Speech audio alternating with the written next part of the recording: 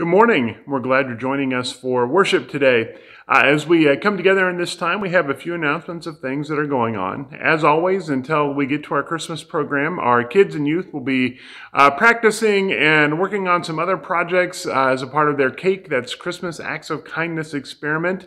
Uh, and they'll be doing that between the in-person services, so about 9:45 to about 10:30 uh, or so uh, every Sunday between now and when the program comes in December. Uh, they'll be they'll be gathering together.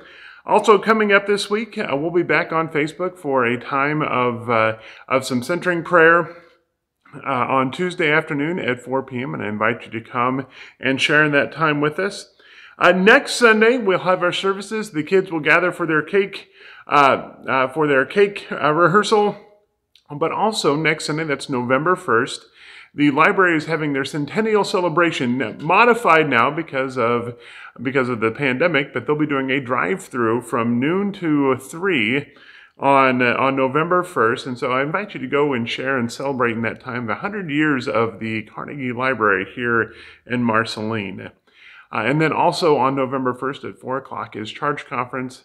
I need a few folks to be there for that. If you'd like to come and share in that time, I invite you to come.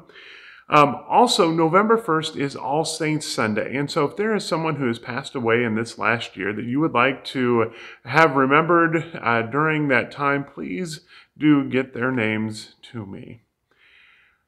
As we come into this time of worship today, we're going to open here in a second with the word of prayer. But we are reminded today that God is in a relationship with us and He celebrates with us when things are good. And how we celebrate those good things are to lean into them and know that they are good and they are part of who God has made us to be. But also know that we have to get the balance right, that we can lean in too far and that sets up a whole new set of trouble for us. But know that God works with us to keep that balance so we can be that whole person that He wants us to be. Let's open with a word of prayer.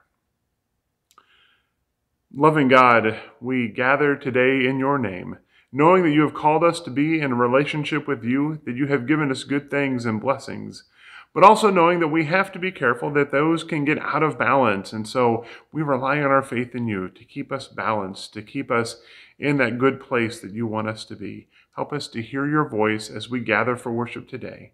This we ask in your Son's name. Amen.